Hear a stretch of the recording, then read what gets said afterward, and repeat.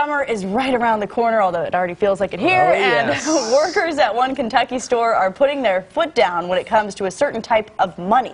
I've been looking forward to this one all morning. They say they will no longer accept sweaty money. Ooh.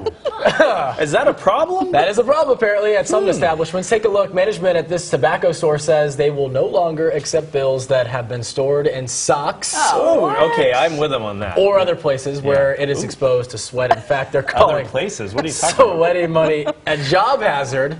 Workers say Really? most of the customers don't seem to mind the new policy, and many are actually praising it.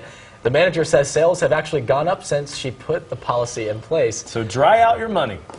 Wave it in the air. Sometimes you give don't, it. you can't though. Just dry it out. Use a wallet. Get any kind of wallet. My wallet. wallet will protect also it. have it though too. I've The sweat. I mean, Okay, it gets Justin hot. is Too much clearly uh, information. You know, I, I'm with you. Sorry. Put the you on that. wallet in the purse, and you'll be fine that way. Well, we don't have purses, so Get Justin one. and I, Satchel. it. I get it. It can be sweaty. if it's in your wallet and it's on your hip, That's Let's move happen. the weather. But it's gross. I don't know what to say. Enjoy your about. Cheerios this morning. I'm sure people are enjoying their breakfast. Hey,